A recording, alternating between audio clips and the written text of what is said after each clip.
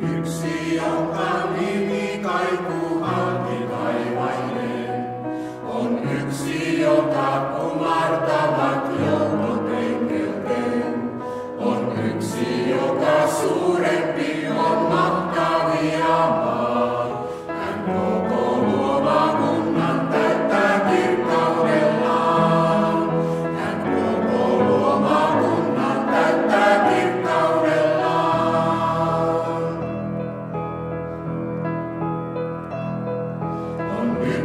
your right.